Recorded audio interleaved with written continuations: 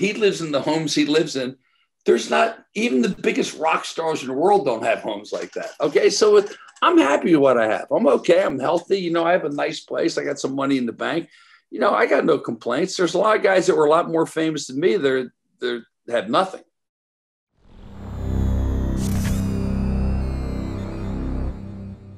What does it mean to you personally now that this film is out for the world to see it? What does it mean to you personally? It's just it's you know what it's it's starting to connect with me. I mean, one, it's it, it's an honor. I mean, you know, at this point in my life, to have an actual feature film about my life with these just incredible characters through the movie.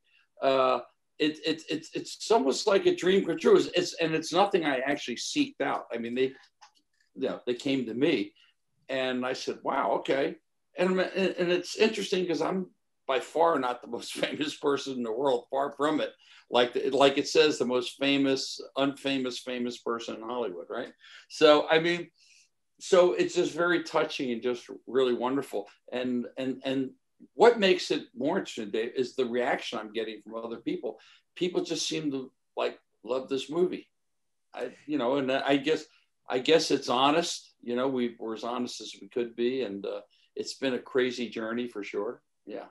And I was going to ask that about you because you're very honest. You put your entire life out there uh, for people to see. Uh, fascinating stories, people that you've worked with.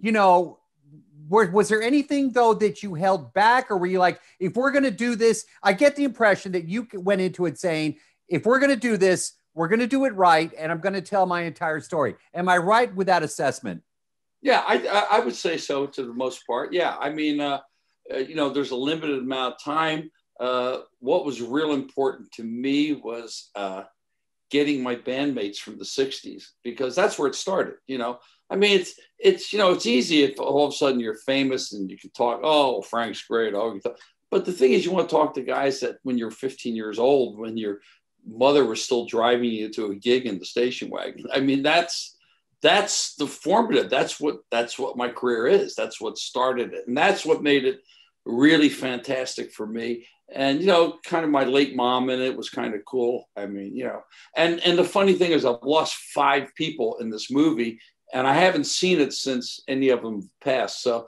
that's going to be kind of interesting to you know see what's happened to that. Maybe I'll just sit in the back or something. You know, that might be a little uh, melancholy, if you say. But I mean, I, am really happy. I'm really proud of the whole team. You know, uh, visionary. Derek, David, Brandon, all these people, because you know I couldn't have done I, I couldn't have done it myself at all. I mean, I, I'm that's that's not my strong suit, you know. And uh, yeah, but I mean, I'm just really, I'm really proud of what they did, and I'm really proud that people, you know, thought that much of me to to do a movie of me. So it's kind of well. Cool. I'll I'll say this: three platinum albums, two gold albums, five gold singles, Uh, actually ten gold albums. I'm sorry, I have the wrong number there in front of me. But where did music begin for you? And then, of course, we're going to talk about the huge single that that actually played a big part of my life that I'm going to share with you in a minute. But where did music start for you, Frank? I, I honestly, I I know the exact moment. I know exactly, and I mentioned in the movie. It was on a Sunday. My you know my immigrant family was over our house on a Sunday, and I remember there was a dining room table, and they're all there talking, you know, Italians loud, you know, that's stuff. And then next to it was like they used to have these things in the old days where they had a radio and a record player and a TV. TV is like this big, right? And I remember just climbing up when I was six years old or five and a half years old, putting a record on. I'd never done that before, putting the needle down. And it was this old Italian song, E Combare. And I didn't know what the hell it was. I didn't know, I couldn't speak Italian, you know and I just started singing along. And then all of a sudden, I just kept singing all day. And the people, ah, Luca Frank is singing. Eh, eh, eh, grazie, Frank. And I, and it was maybe in a weird way, maybe it was some form of acceptance. I don't know, but I knew it, it just, I could do it. And then this is about 1955, 50, and then Elvis came out. And I remember when we went to my aunt Nancy's house on Missouri Avenue, Washington, D.C. And everyone was there gathering around. Let's see this Elvis Presley. Let's see this guy. And he came on, and I was sitting there with my cousin Eddie and a few of the kids. We were young, he's 19. And he came on, and I went, Oh my God. I said, That's it, man. I'm done. I said, This is absolutely the coolest thing I've ever seen. Even six years old, I got it. I said, This is, there's no one like this guy and at that point i wanted to be elvis presley and you know I, then my mother got us a ukulele my brother and i broke them over each other's heads so i didn't get to use that but that was what i wanted to do if there was a broom or whatever come on frank imitate elvis and i'm there thank you very much but i was like a kid a goofy little kid you know and and and then that was it man and that that was it i did not deter that's what I wanted to do. I wanted to be a singer. I wanted to be. I didn't say I wanted to be a fireman, which all these are honorable jobs you know, most kids, oh, I want to be a cop, I want to be a fireman, I want to be a tree trimmer or whatever. I didn't want to do it. That's what I wanted to do. And then when the Beatles came out, it was over. That was it. Done. My mother said we've lost them forever. It's it. when I saw the Beatles, that, that's it, man. Done. Between Elvis, the Beatles, and Sinatra, that was it. Bingo. All right. I want to expand uh, some of our, our conversation now. Um, yeah. Some of the names you've worked with, Frank. Uh, uh, Richie Sambora Mm-hmm. By the way, these are not our mutual friends. I don't know. Yeah, yeah, right, I, I, met right, Richie right. once at a radio show, but I, I, can't really think of calling him a friend. But. Bruce Springsteen, again, who I've, I've never met, but Daryl Hall, John Oates. But there is a mutual friend that we have, and I spent an evening with this guy at Dan Tana's, and I know you know that restaurant in Hollywood. Yes, I do. Um, Don Rickles. And oh, he's open for open for him like 10, 15 times. That's that's what I wanted to ask about. I mean, talk about some of those memories because in, in your movie, and again, no spoilers here, but you know, you worked with John Oates. Uh, you know, oh, uh, we were in a band together, right? Yeah. So tell me, tell me, let's let's start with John Oates for a minute. Tell me about well, him. I was in, I was in a, a band. Uh, this was the second version of Valentine. The first one broke up. That started in '68. So 1970, I was before that. I was doing like kind of acoustic solo thing after the band broke up. You know, and then I said, you know what, I want to put another band together. So I put, I got the, I got some of the members from the first band, and then, but we didn't have a lead guitar player. So we auditioned a few people, and the guy goes, "Hey, man, I have this friend of mine, the bass player said that John Oates, he's really good." You know, I said, "Great." So he came into the audition, you know, and he's a tiny guy. He's like a five five, five four, and he had this Les Paul special, a real one, TV model, and like a super reverb amp. And I said, well, he's cool right away. He hasn't even played, but if he's got that gear. And he was just the nicest guy, and he was really good. And he was real talented, and he could play good, and he could write good, and he could sing good. And a really nice guy, really cool guy. And we and we got along great. And we uh, had that band for a while. And then remember, we were a bunch of clunky kids, you know, basically got barely got out of high school. You know, he was went to Temple University with Daryl so he said, well, you know, man, I'm, I'm, he's graduating. So he goes, I'm, I'm like most guys those days, I'm to hitchhike all through Europe. Well, there went the band and then started my solo career again. But I mean, to be expected. I mean, Daryl was going to be in my group. They went like this. We were, it was 1968, the first Valentine. Uh, they said, uh, I said, man, it'd be great if we get a keyboard player. How about Gary? Now nah, he's off somewhere. He goes, friend, another guy. Hey, man, I know this guy named Daryl Hall. He's a really good looking guy, really, really great singer. I said, great. So we're playing in, the, I mean, when I think this basement where we rehearsed in couldn't have been more than 10 by 15. it's amazing.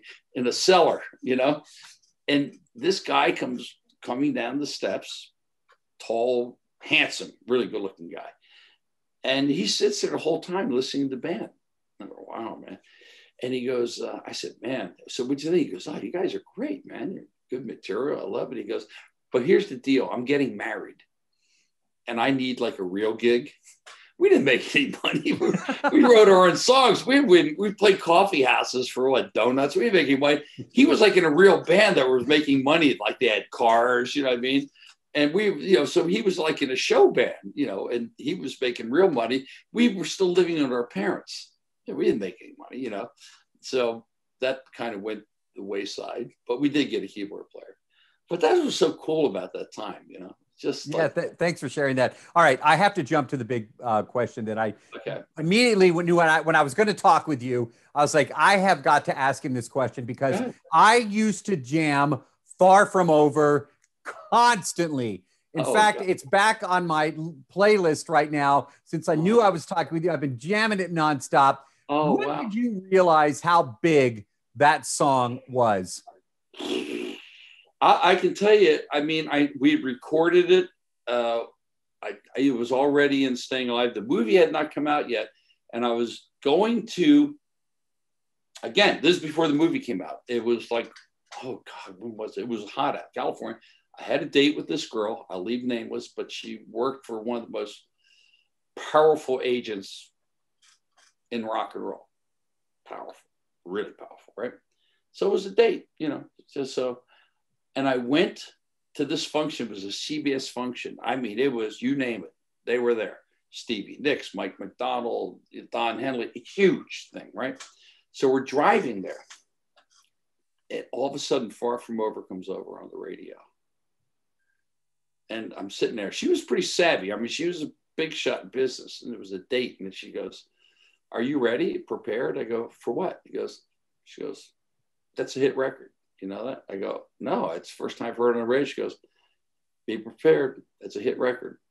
And I went to the party that night, unknown, and then eventually became a huge hit record. And it was like something, you know, it's really interesting. You know, you start at 1965 at 15 years old, failure after failure. I mean, like kids, you know, we do demos, then we did Take You Back and Rocky. Then I had a Joni Mitchell song I did with Harry Nilsson kid. And just, you know, now I'm like 32 years old and I go, oh my God, I've invested almost 19 years into the singing. Nothing's happening to all of a sudden have a hit record and all of a sudden be part of a big movie, uh, get Grammy, Golden Globe. It was usually in the old days, your career was over at 32. Thank God I wasn't a teen idol, you know? And, and, and it kind of started and it's, uh, that's why people go, are you tired of playing a song? I said, no, that song saved my life, changed my whole my life. Kidding?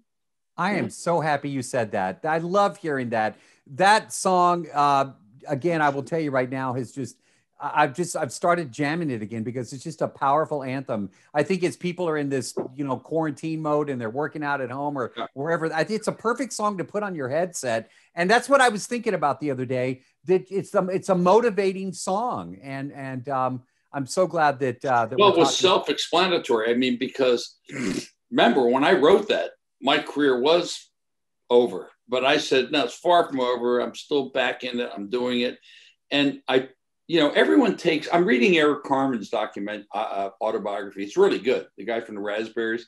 It's really. It's like his book and Springsteen's book. They all parallel. We all parallel each other's lives. We all like the same groups: the Kinks, the Beatles, the Stones. Blah, blah, blah.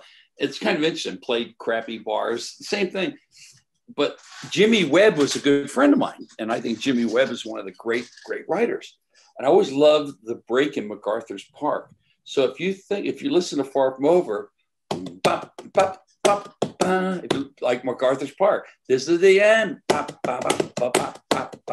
So I love that beat, and it was so weird and different. And Far From Over is actually long for a single, but you know, with the help of the Scotti brothers and Polygram, they they they they banged it out there, man.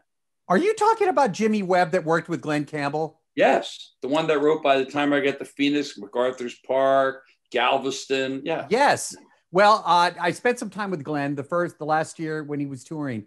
Uh, and John, who my our producer there that you see as well, yeah. we're actually, and I just spoke with him the other day. We're very good friends with Cal, Glen's son, Cal mm-hmm. Campbell. Oh. And uh, but yeah, I, when you said Jimmy Webb, I'm like, no way. Oh yeah. Wow. It's very interesting. Uh, well, first of all, Glen was one of the greats. I mean, no matter what, he never, I never heard him sing off key, ever and he was just a superb guitar and a nice guy. I did a gig with him in Arizona. Oh, in the, I forget did probably in the '90s. He was just a lovely guy.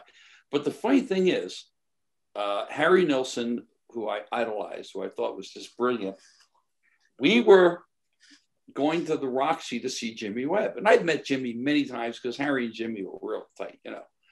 And uh, they used to break each other's balls all the time. Who wrote better songs? I go, yeah any given day. I mean, I remember them both sitting at a piano, playing each other's songs. I'm going, are you crazy?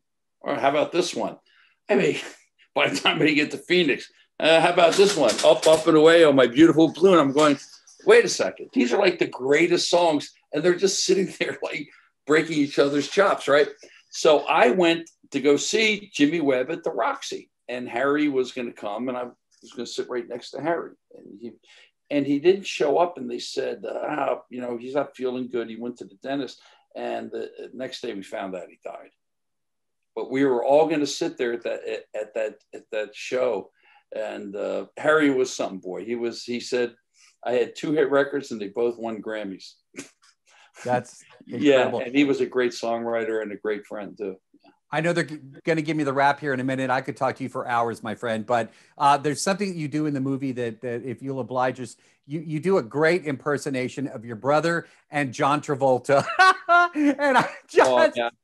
Well, that was that was the meeting of, of John hearing my songs because every you know Bee Gees had kind of walked off the movie, and I'd written all these songs, and they were all rejected. Every one of them was rejected and then I got a call from my brother. My brother, I can always tell where it's going by the greeting when he calls me.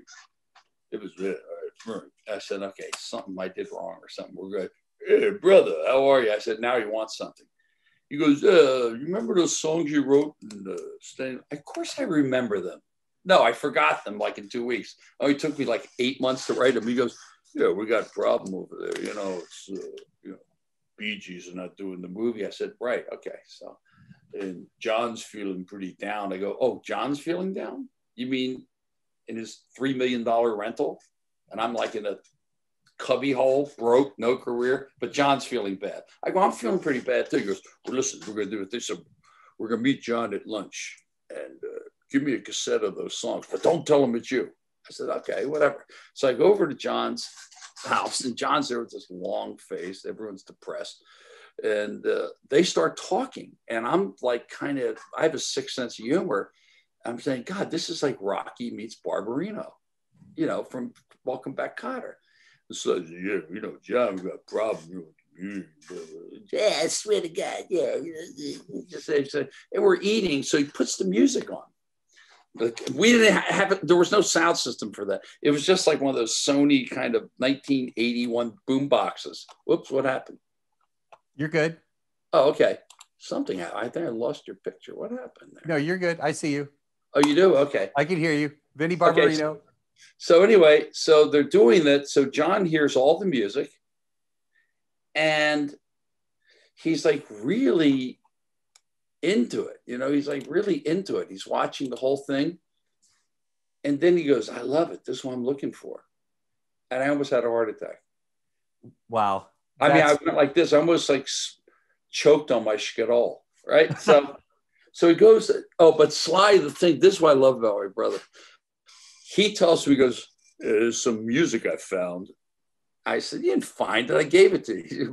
but, but you know, I said, whatever. So at the end, so John goes, Who is that, man? That's great. Who is that? And he points to me. He goes, That's Frankie. And John goes, That's Frankie? Like I'm like Fredo from Godfather One. You know what I mean? So it's like, I go, Well, yeah, I, I do some stuff like that. And then after that was a blessing from God. And man, the rest was history. It was just awesome. Well, and Frank. I, and I I've, thank everyone every day for it. Well, I I I don't want to get in trouble because again, I just love this conversation. Um, I the guy, a friend of ours, I don't know if you know him, Joey Bats. He works with Nick Vallelonga. Oh, I know. Yeah, sure, sure. Yeah. Uh, he just texted me because I told him earlier I was talking to him. I looked down and I saw Joey is, is texting me right now. But uh, I, I knew the Scotti brothers. I used to work at Power 106 radio years ago. I'm Morales. I was the afternoon guy. Uh, but Where I'm back was home. that? Where was that? That was uh, it was would have been the mid to late 90s. And I, uh, you, I knew Fred Scotti Jr., Ben oh, Scotti. Yeah. I yeah. knew all those Tony. guys. Yeah, yeah, their studio in Santa Monica. Yeah, no, Ben's the best. I still see him. You know, Frank, we're here, and I went on tour with him. He never went on tour with anybody. He went with me, and it was like magical mystery tour, man. He was just classic Ben. He was so imposing and scary. No wonder my record was a hit. Yeah, listen, you have played this record, see? You know what I'm saying?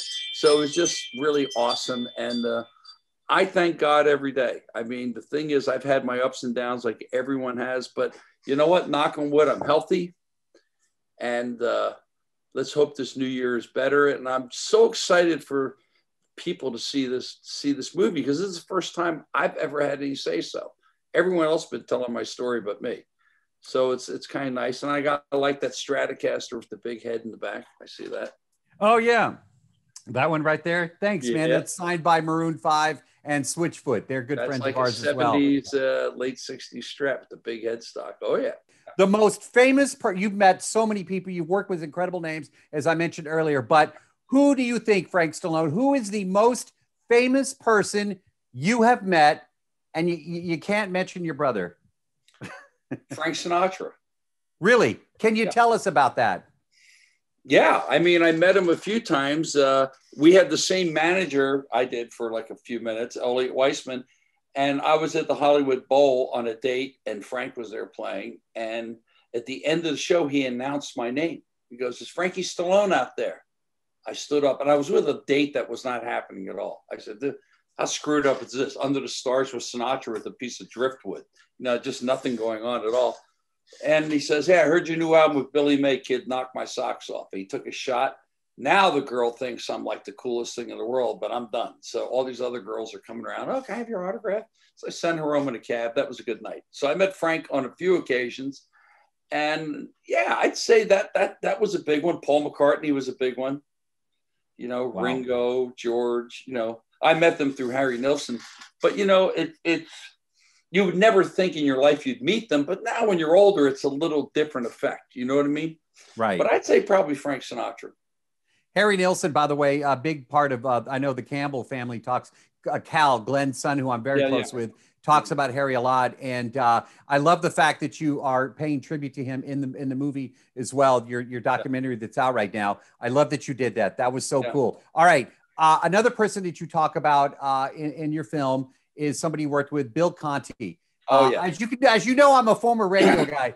So of yeah. course I ask music. I love. I'm I'm drawn into the music stuff. Um, the the you know Bill Conti, of course, composed the theme to Rocky, Karate Kid, won an Oscar for the right stuff. Tell me a little bit about Bill Conti, working with him. What what was he? What was he like well, to work with? I didn't get to work with him on Rocky One because I did Take You Back. There was no orchestration. I did get to work with him on Rocky 3 because I wrote a song pushing it and other stuff. First of all, he should have won the Oscar for Rocky. I thought it was a brilliant soundtrack. Gonna Fly Now was two number one records by two different artists in the same year. You know, I mean, yeah. so he he absolutely Bill is a wonderful person. He's really talented and uh, as good as anyone out there ever been. And and I like him a lot. Great. Okay, so I have to ask about your boxing, uh, yeah. and then I promise Emily with the publicist. Oh, good, good. I know the boxing.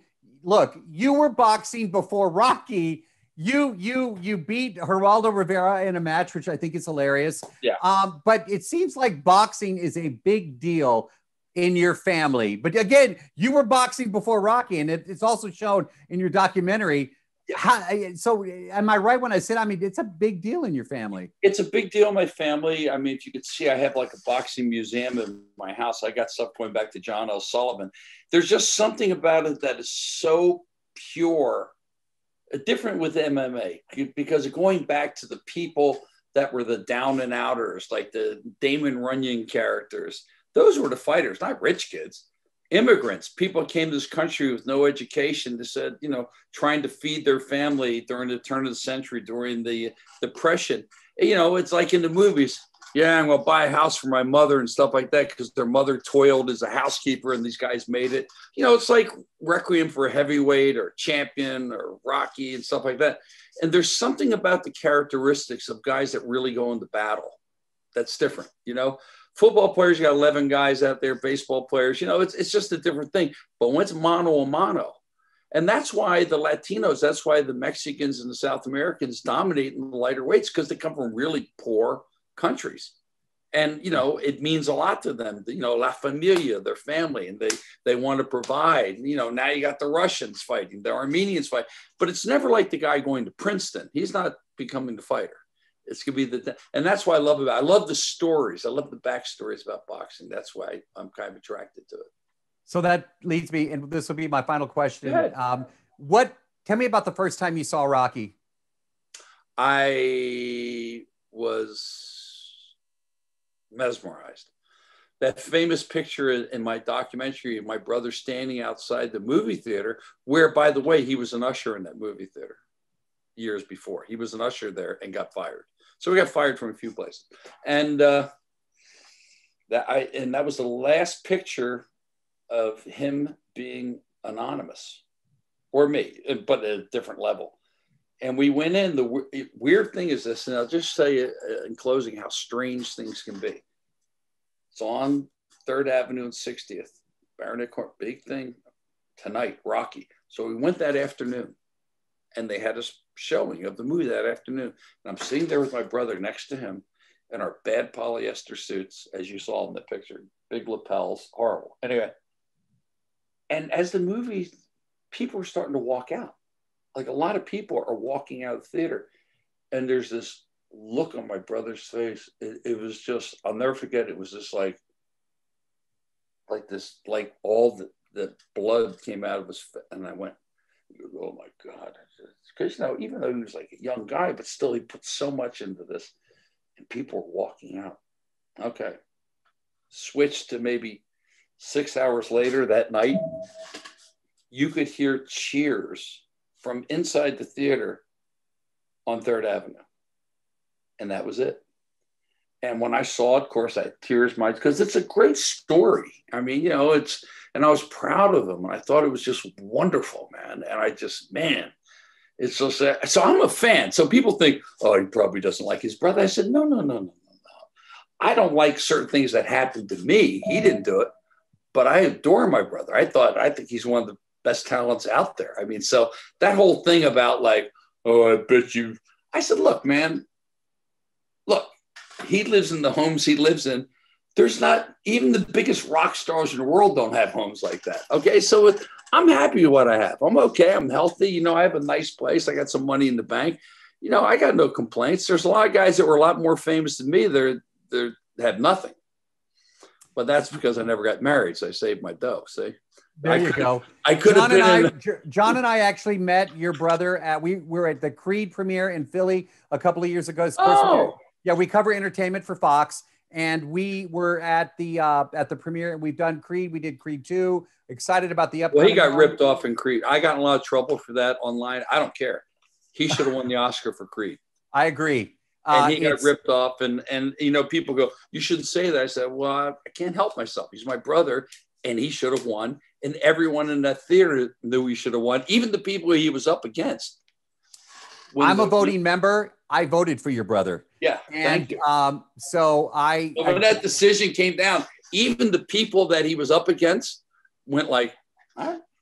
I mean, they were all rooting for him because remember, they're all younger. So they all grew up on Rocky and Rambo. So it was kind of like the old guy finally getting his just due.